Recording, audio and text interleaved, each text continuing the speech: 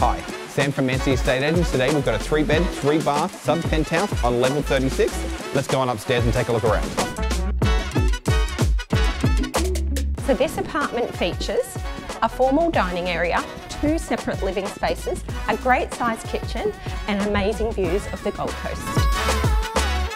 The master bedroom has its own private balcony and spa, the perfect place to unwind after a long day at the beach.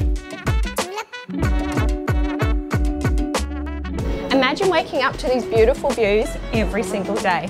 My name's Sally Mansy from Mansy Estate Agents and I look forward to talking to you very soon.